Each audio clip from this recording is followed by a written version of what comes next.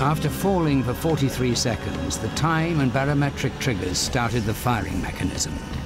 A uranium bullet fired down a barrel into a uranium target. Together, they started a nuclear chain reaction. Solid matter began to come apart, releasing untold quantities of energy. You are my sunshine, sunshine. You make me happy.